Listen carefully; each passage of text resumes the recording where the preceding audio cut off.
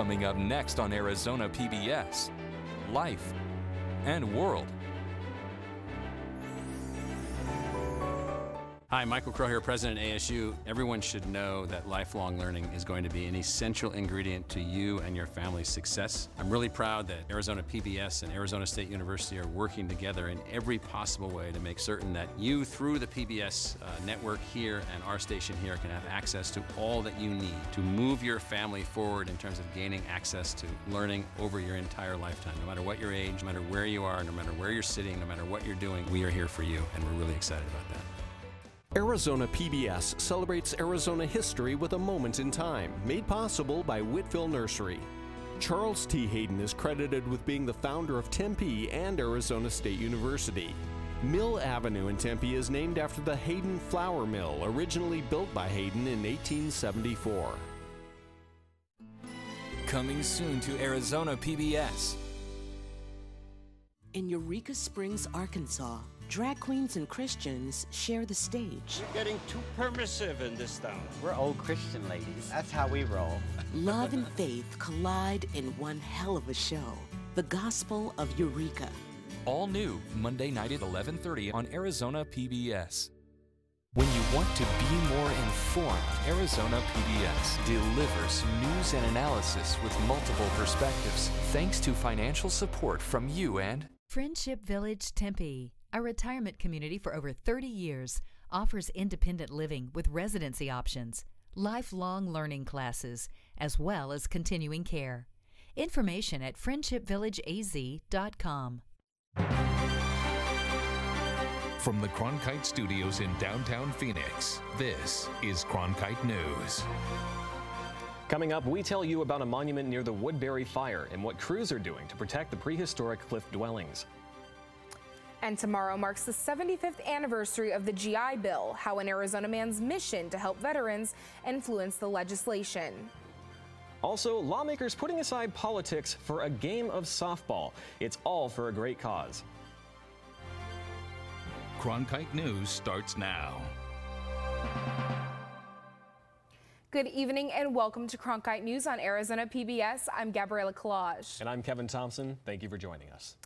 As the Woodbury fire continues to burn, resources are being used throughout the state to combat the flames. Along with containing the fire itself, members assigned to the fires have also taken steps in preserving the Tonto National Monument. Reporter Tanaya Williamson has more on what that process looks like. Tanaya, what can you tell us?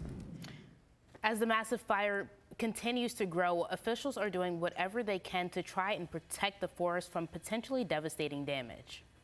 As the Woodbury fire exploded to nearly 66,000 acres overnight and continued to head north, officials are doing what they can to preserve one of Arizona's national treasures that is in the line of fire. They have been working on preservation efforts for about a week or so, even before the fire made any movement. Krista Sadler says those in charge of the Tonto National Monument have done their best to work ahead and prepare for what may come. The monument kind of took precautionary steps to make sure that we would have enough time to protect the cliff dwellings and remove all of the artifacts from our visitor center museum. Sadler says that help in preserving the 700 year old Salado cliff dwellings, which are protected by the monument, has come from all over the state. This includes hotshot crews from Casa Grande and Flagstaff. We have also been working with the Western Archaeological Conservation Center out of Tucson, and they've been helping us clear all of the artifacts out of the visitor center, and they are safely secured and away from any path of the fire.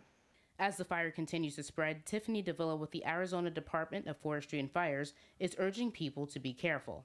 We do have a lot of resources committed to the Woodbury fire and other fires across the state. Um, so it's one of those things where we try to get out to the public to just please be proactive. Uh, we're seeing multiple fire starts every day, and our fire personnel are spread thin across the state. Uh, we don't need another Woodbury fire. Davila says the state of Arizona has already seen hundreds of wildfires this year most of them caused by people. Um, we've had 701 wildfires to date this year.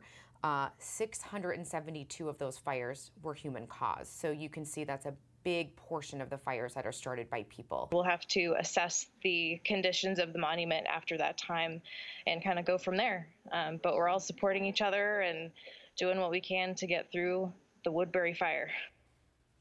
Forest officials have called for another community meeting today to keep residents informed about the massive blaze. It's set to begin at 6 p.m. at the Miami High School Auditorium in Miami. In the broadcast center, Tanaya Williamson, Cronkite News. Thanks, Tanaya. Tomorrow marks the 75th anniversary of the GI Bill, which provides veterans with funds for education and more. Cronkite News reporter Amanda Slee explains how an Arizona Navy veteran is partially responsible for that legislation. Ernest McFarland served as Arizona's governor in the 1950s. Before that, he was a U.S. Senator, a Democrat from the Grand Canyon State. But before his life in public office, he enlisted in the Navy during World War I. But severe pneumonia kept him from seeing active duty. He was then honorably discharged. He saw his fellow soldiers coming home and realized there was no support for them. That was something McFarland wanted to change. He wanted people to have more of an opportunity through education. John Lewis says that's why his grandfather helped create the GI Bill, which was signed into law in 1944. He saw what happened to our World War I veterans and how they were treated on Anacostia Flats, and that just broke his heart. And he knew, because he was a World War I veteran, that when World War II's over, all these people are coming home from Europe and they're going to have nothing to do, no jobs. So he thought, hey, why don't we send them to school? And if they don't want to, they got business loans to start a business, or they can, you know, buy homes. McFarland was credited with writing the education part of the bill. Delbert Lewis Jr. is also a grandson of Ernest McFarland. He says early on he didn't realize how important his grandfather was. I kind of had an idea he was really famous and did some really important things, but it was kind of later on in life when I got to ride in a parade with him that I really realized, hey, this guy's big time. Over time, there has been additions to the GI Bill. As a veteran, if you wanted to go to Harvard, uh, for instance, you went to Harvard and the GI Bill paid for it. Or if you wanted to go to the normal school uh, here in Arizona, they would pay for that too. Now there's certain caps and restrictions on it. Veterans can also spread out their benefits. You are able to give percentages for any dependents, your spouse, your dependents, and you sort of transfer over time periods so that they can go to school during those time periods. Benefits used to expire after 10 years, but Wanda Wright says Congress changed that in 2017. Now we have the Forever GI Bill, which never expires. And so those coming out now will have the opportunity to use that and will be able to use that pretty much for the rest of their lives. And all of this started with Ernest McFarland's work after World War II. I personally have had so many medical doctors that I had met, so many professors, both at ASU and U of A, that would say, if it weren't for the GI Bill, I would not be a professor today. And it's just helped many, many people a celebration honoring the GI Bill was held in Washington, D.C. on Wednesday. Speaker of the House Nancy Pelosi attended the ceremony. She says the GI Bill has been instrumental in helping the lives of American veterans from one war era to the next. Amanda Slee, Cronkite News. We're taking another look at a story from our Borderland series at Cronkite News. Annika Abbott introduces us to Venezuelan refugee women who are struggling to provide for themselves and their families. La mujer que ha obtenido sus derechos. It's International Women's Day. People in Comas, a town on the outskirts of Lima, Peru, are celebrating at the government building in the town center. But on what should be a day of strength and empowerment, Venezuelan refugee women feel powerless. Yo tengo 72 años, eh, nadie me da trabajo, no tengo medio de subsistencia. No quiero regresar a mi país por la misma situación país que tenemos. Over 700,000 Venezuelan refugees have immigrated to Peru in the past three years, overwhelming government and city resources where they are already scarce. A mainly informal economy and little government assistance make it hard for both locals and refugees, leaving nonprofits to pick up where the government leaves off. No hay para los niños pobres y ya quieres ayudar al venezolano. Mi discurso siempre ha sido, o sea, la, incapacidad que tengamos nosotros como Estado para resolver nuestros propios problemas. Ya viene una situación bastante difícil, entonces encontrar un espacio, encontrar una casa que, da, que brinde acogida, que brinde un espacio para estar algunos días por lo menos seguro, que estar, eh, recibir una buena alimentación, recibir un lugar para descanso. Peru is still receiving over 1,000 Venezuelan refugees a day. Annika Abbott, Cronkite News, Lima, Peru. For more on Peru, join us next week to watch the next installment of our Borderlands series. And today marks the first official day of summer. You sure? Because it certainly felt like it started before today. Ryan Sundin has our weekend forecast and what temperatures will look like next week. Ryan?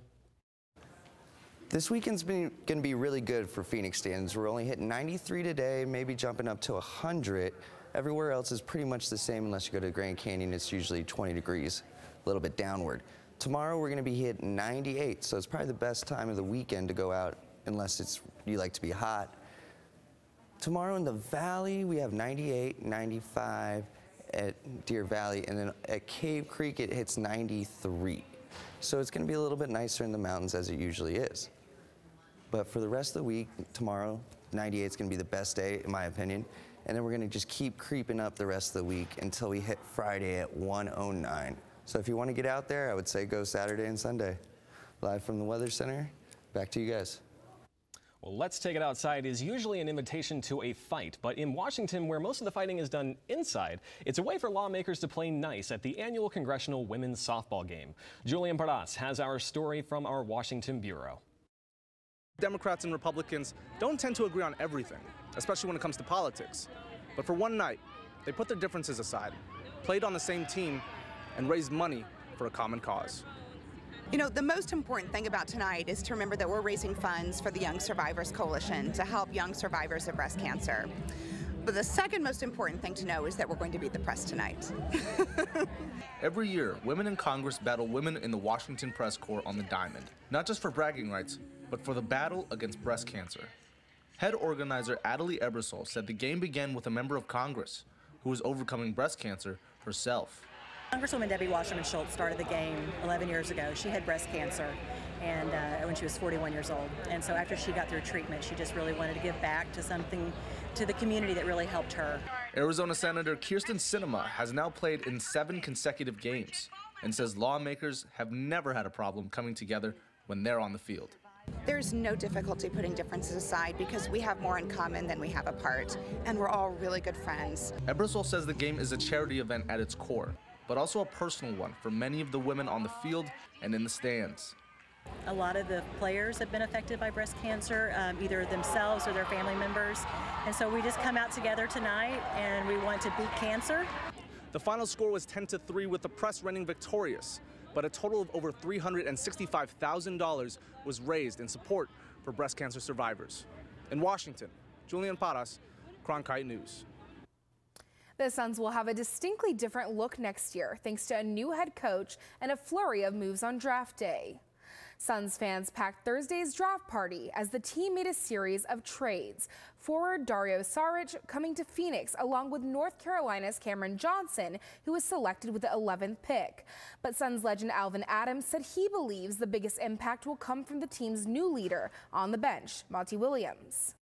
I know his reputation. I've had people calling me from around the league in Oklahoma City and Portland saying, man, you got a great guy there, a great coach. Some of the players talking about him, they're very anxious to start playing for him.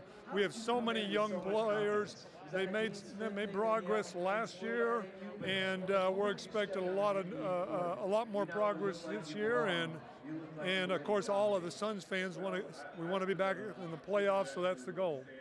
Arizona ranks in the bottom five states in conditions for kids. That's according to the annual Kids Count report released by the Annie E. Casey Foundation. The report looks at 16 areas of children's well-being. Arizona ranks 46 out of the 50 states, but the state is making strides in the areas of health, family, and education. The number of Arizona children without health insurance dropping to 8% in 2017, just a little over the national average. The rate of teen births fell nearly 50% from 2010 to 2017, and the number of eighth graders struggling in math down to 66% in 2017, which was better than the national average. One area the report found causing struggles for kids in Arizona is unstable housing. Cronkite News reporter Jesse Joe Pauly has more on where the state stands with housing affordability. Arizona kids are facing serious challenges, including keeping a roof over their heads. If a family spends more than 30% of their income on housing, it's considered a warning sign for future problems. It could also put them at risk for being squeezed out on other necessities.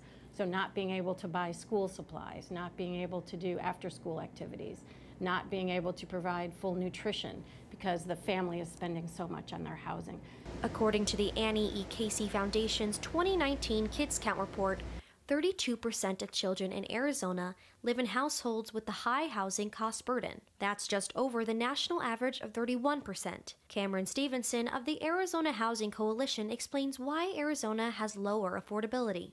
We have laws specifically prohibiting cities and municipalities from creating affordable housing requirements. Uh, you know, for example, if if a complex is building 100 units, they need to make sure 10 of them are eligible for affordable housing vouchers. Uh, we were one of the first states to make that illegal. The report also shows that given the history of discrimination in housing and employment in Arizona, children of color are more likely to face housing instability. More than one in five children in Arizona lives in poverty, and that, according to the Kids Count report, is one of the greatest threats to children's success. But Dana Wolfe Naimark says she has hope for a better future, and if individuals want to make changes in Arizona, they should take action. Find a group that shares your own values. It's much more fun and powerful to work on issues together and not alone. For Cronkite News, I'm Jesse Jopali reporting. Last year, Arizona ranked 45th, so we've actually dropped one spot in rankings. If you were in downtown Phoenix this morning, you may have heard helicopters and saw an increased police presence. Cronkite News reporter Amanda Slee explains this was all part of a national security conference. Phoenix first responder teams are taking a break from the meetings and demonstrations inside to step into SWAT cars like this to do a terrorist demonstration outside. The scene is this. Phoenix first responders get intel that a small group of domestic terrorists are targeting a hospital. A suspect vehicle flies down 3rd Street outside the convention center, and choppers land with SWAT teams rushing inside a nearby building. Phoenix Fire, hazmat crews, and a robot work the scene where the driver is stopped. Phoenix Fire Captain Rob McDade hopes this demonstration shows the public they don't need to worry. With your tax dollars that you use, that you pay, that we've got you protected, and that indeed we, we do have a plan for anything, God forbid, that could happen. McDade also says it's important to be prepared. When you look at Phoenix, we're a city that hosts Final Fours, All Star games, and the Super Bowl. So we need to show them that for any major emergency that could happen, we're prepared for it. We're going to show them what we can do in a moment's notice because it happens so quickly. If there's a terrorist act, we need to show them that we are indeed prepared. The demonstration is part of the National Homeland Security Conference and it's brought public safety personnel together from around the world to network and share tips. You know, preparing here is, you know, talking, learning, collaborating, seeing what others are doing. So maybe it's not being done in your hometown, but now we take it back and we can start implementing whatever that action might be in your own hometown to make sure we're doing the best. In downtown Phoenix, Amanda Slee, Cronkite News. The exact tactics used to, used to secure the simulated terrorist vehicle were hidden from media cameras. That's because these tactics are meant to be kept confidential for security reasons. This summer, youth interested in law enforcement careers are able to get their feet wet in the Maricopa County Cadet Program before they are old enough to become sworn police officers. Cronkite News reporter Kevin Fleischman shows us what it takes.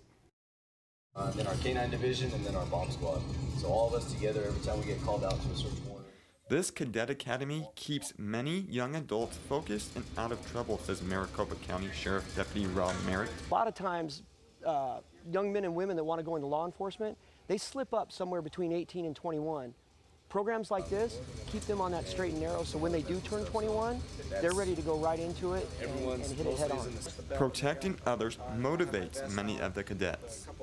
I think a lot of these kids truly like the structure, um, the command structure that is involved with, with uh, the program. Um, I think they a lot of them, if you ask them, they want to help people. In the program, cadets work as a team and learn firearm safety, self-defense tactics, and CPR training. It can be physically demanding. One of the best things is you see the confidence building over the, the entire two weeks. Um, if we would have put them in some of these situations nine days ago, they would have probably turned around and said, I'm, I'm done. All of the 22 cadets who started the academy made it to the end. In Phoenix, Kevin Fleischman, Cronkite News. This is the third year the Maricopa County Sheriff Office has offered this training. For more information, you can visit mcsocadets.com. Arizona will get $100,000 to help ex-prisoners find work. The Department of Labor only gave 24 states grant money.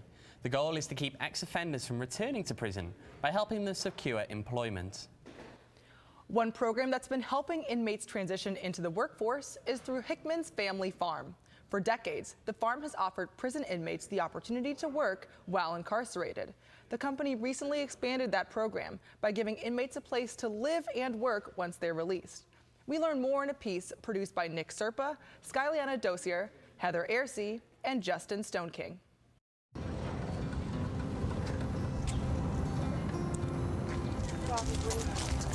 I would say about 90% of the people that are here come from a similar background, and they all share one thing in common, and, and that is that they were in prison at one point. Whoa! fell off this side. Like people that are coming out of prison, a lot of times they feel like the world is watching me because I still have this stigma like over my head, or you know, I still feel like I'm an outsider. I love you, baby. I love you too. You know, you see a lot of guys that come out and right out the bat they're homeless and they're trying to find, you know, a, a place of stability. Um, and then that's that doesn't even include finding employment. Hickman's Family Farms is probably the largest egg producer on the West Coast, producing about 10 million eggs a day. We have the group of inmates that are currently working at Hickman's during their incarceration.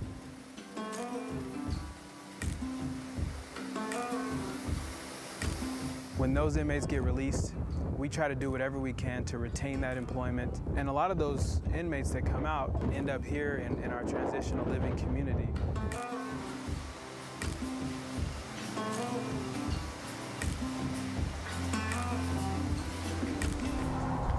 Get your first key assigned to you, huh? Yeah, first one in years. I still have your old keys at home. Let's just go see. Oh, it's cute, Mom.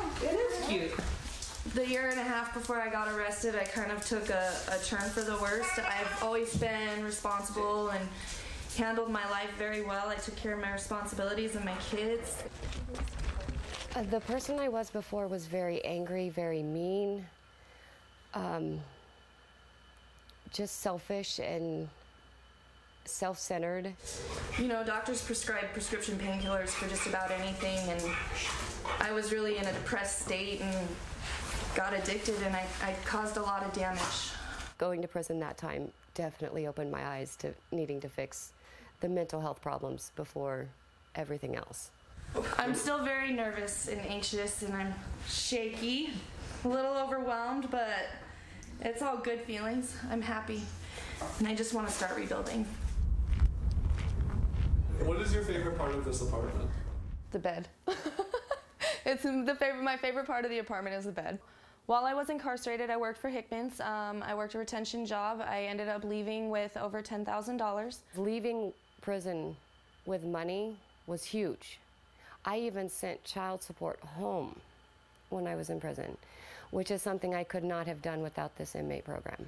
When I ended up getting employed in prison with Hickman's, uh, my ex-husband had needed help with the bills, and it felt really good to be in prison and to be able to say, "I can pay those for you."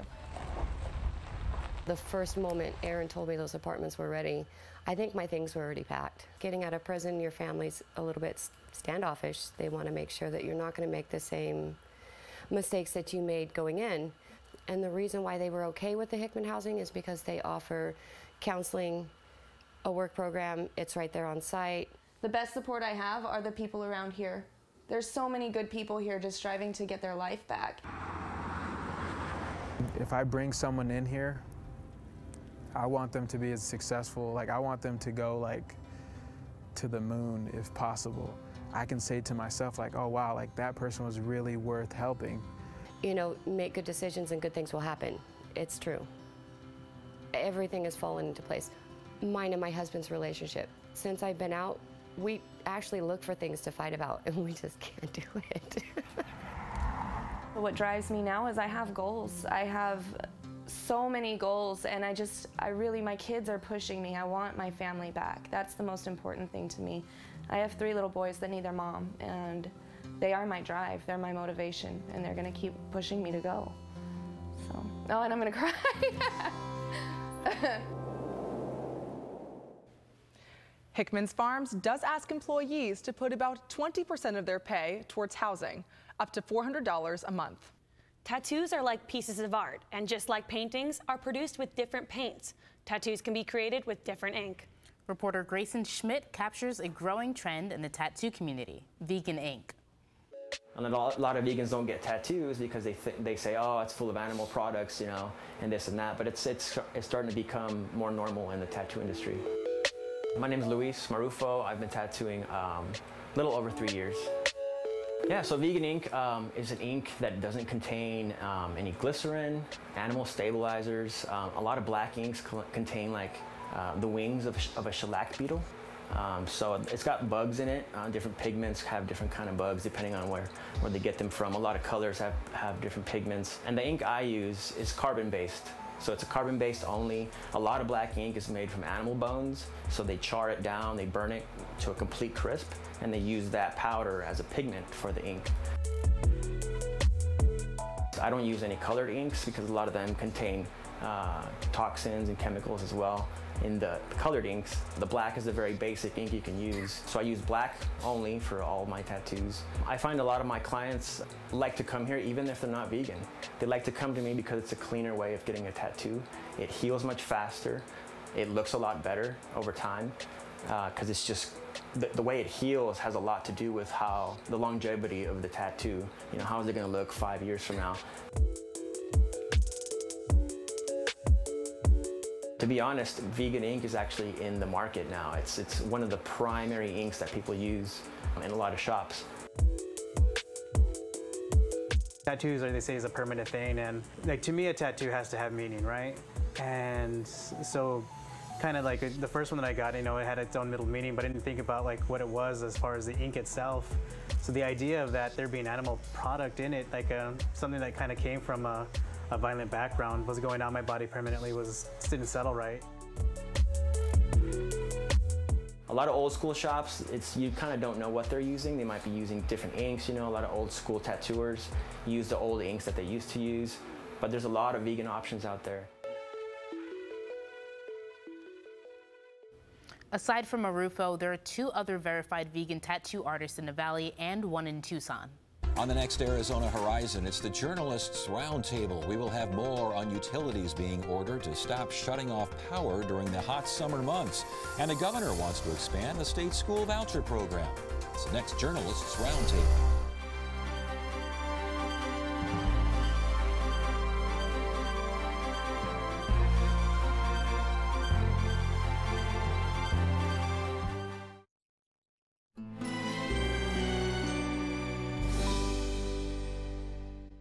Anne Marie Slaughter, the CEO of New America. We're a distinctive community of problem solvers and storytellers who are committed to American renewal. I'd like to invite you to watch our new show, Innovating the Future, a joint production with Arizona State University. We'll talk with experts, analysts, and activists about the challenges our nation faces and the opportunity for solutions. So join us for Innovating the Future. Tonight at 7:30 on Arizona PBS. On Finding Your Roots, Senator Marco Rubio. That's amazing. I didn't even believe any of this stuff existed. Congresswoman Tulsi Gabbard. This is really cool. and former Congressman Paul Ryan. Nobody in my entire family knows any of this stuff. How does that make you feel? Honored. Finding Your Roots. Tonight at 8 on Arizona PBS. Explore new ideas and new worlds here on Arizona PBS, a community service of Arizona State University. See this flower garden? There used to be a car sitting there, a car I didn't use and didn't want. So I donated it to public television, and they took care of everything. In addition to supporting my favorite programs, I earned a tax deduction. Turn something you don't need into something you really want. Contact the Vehicle Donation Program. Coming up next on Arizona PBS Life and World. Your favorite PBS shows. Ready to watch when you are. Anytime, any place. Find more ways to explore than ever before.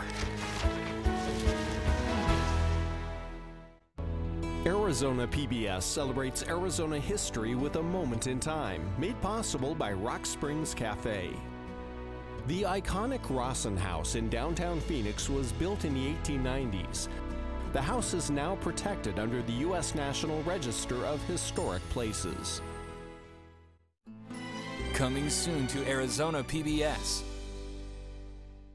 I'm Jose Cardenas, host of Horizonte. Each week, we bring you experts and community leaders to discuss the issues that are vital to our community here in Arizona. We cover the stories that affect and inspire us and our families, and talk to the newsmakers who shape the communities where we live. Horizonte is your source and your voice for what matters most here on Arizona PBS. Support for Arizona PBS comes from viewers like you and from The Persian Room. Travel to another world, to a land of exotic aromas and period decor for a fine dining experience. The Persian Room in North Scottsdale on Scottsdale Road, one light north of Frank Lloyd Wright Boulevard. Gourmet exotic cuisine at its best. I'm Susan Linkus of the Linkus Group, a fee based registered investment advisor specializing in financial planning, investment management, insurance strategies, and more. LinkusGroup.com, investing for life.